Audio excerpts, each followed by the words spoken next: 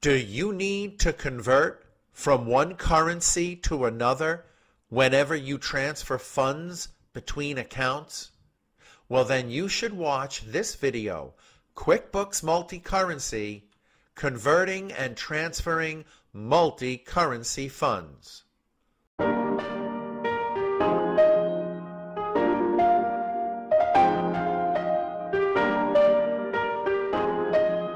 If you have any questions about this topic, you can leave them in the comments section below and I'll do my best to help you. And of course, if you feel the video helped you, I hope you will click like and don't forget to subscribe to get updates on new videos that come out all the time. The most common multi-currency transaction type is a transfer of funds at the moment the funds are converted to the other currency. This is because you must put some money into a bank account to open the bank account. So usually the first transaction is a transfer. Sometimes there is a fee and sometimes there is not. For example, let's imagine on February 18 we purchased 5,000 Guyanese dollars at the moment the exchange rate was 0.008 of the US dollar. 40 US dollars will be deducted from your bank account at the moment of the transfer. 5,000 Guyanese dollars will appear as the balance of the account in the Bank of Guyana. $40 will be the balance in our trial balance. So it's very simple. We click New and go over to the column on the right that says Other, and we click Transfer. Now, the date of the transfer is February 18.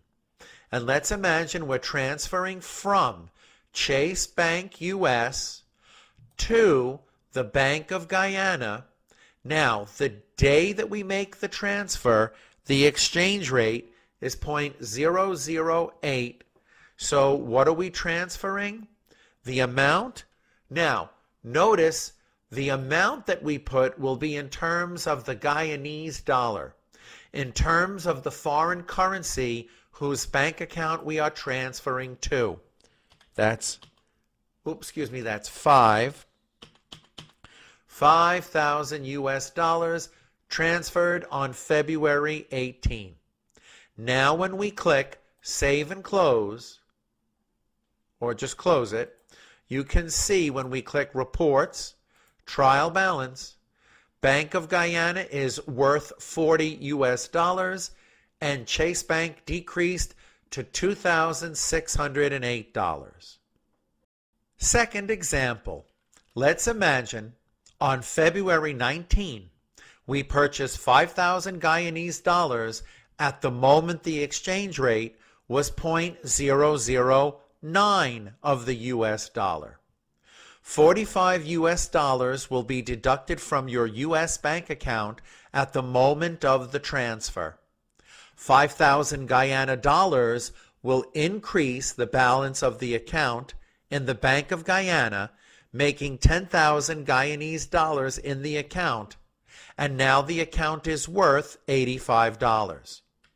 However, this time there is a fee to convert the currency and transfer it to the Guyana bank account.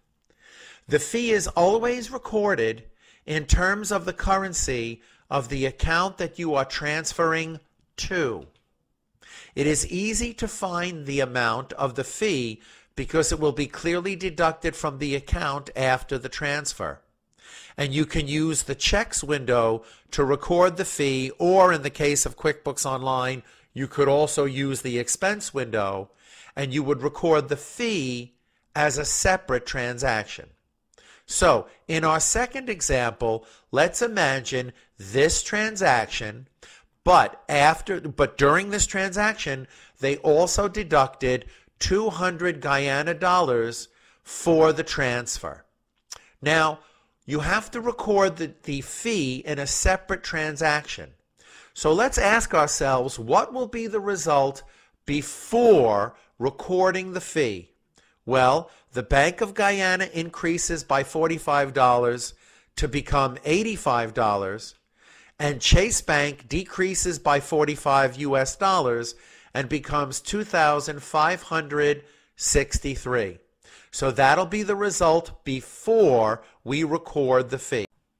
Again, we click New, Transfer, put the date February 19th.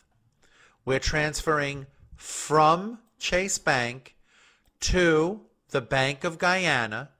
The exchange rate on the day of transfer is 0.009 this time. And we're transferring 5,000 Guyana dollars at 0.009, making 45 US dollars as the US dollar equivalent of the amount of this transaction.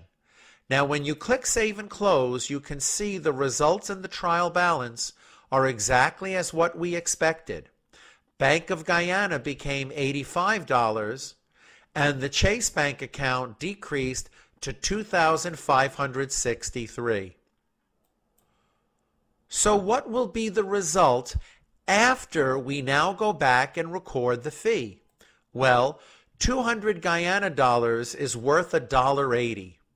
So that means that a dollar 80 will decrease the Bank of Guyana and the balance in the Bank of Guyana in terms of US dollars will be $83.20 and the fees transfer and exchange fees you see that down here goes from $12 to $13.80 and to do this we will use the checks or expenses window.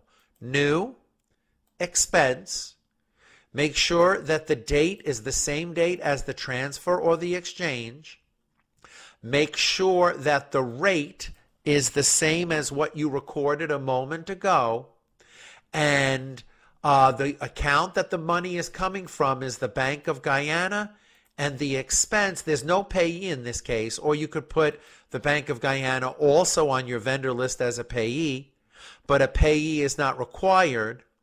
And you can just put the transfer and exchange fees transfer fees expense. And again, in terms of US in terms of Guyana dollars, they deducted 200 Guyana dollars out of the bank out of the Guyana bank account. Save and close, and the results are exactly as what we expected. When we open the trial balance, you can see Bank of Guyana has decreased to $83.20 and transfer fees expense has increased to $13.80. Now, you now have in the Bank of Guyana 5,000 at 0.008 and you have another 5,000 of Guyana dollars at 0.009. So your Bank of Guyana has currency that's valued differently in the account right now. You must do a home currency adjustment before transferring the money out of the account. If you forget, then your records will not be correct and your currency units will be out of sync with the balances of the account, just like we learned in the prior video. So I think you should take a look at the video for home currency adjustment if you don't remember the reason why you must make an adjustment before transferring the money out or paying the money out. Let's make the adjustment as of March 11th, the very next day. And let's make them all equal to 0.009 so that on the day that we transfer out, we don't have a problem.